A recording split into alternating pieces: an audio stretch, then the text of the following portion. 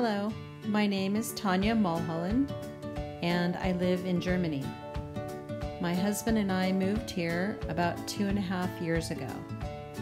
During our time here, we have done quite a bit of traveling. We have traveled to over 24 countries within Europe.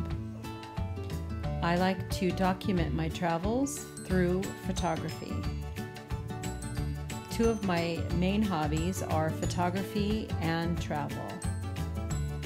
Of these photographs that I'm sharing with you here, my most favorite photograph is the one from our trip to Venice last summer.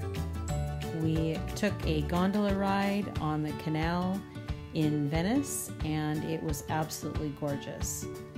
I hope you enjoy the photography.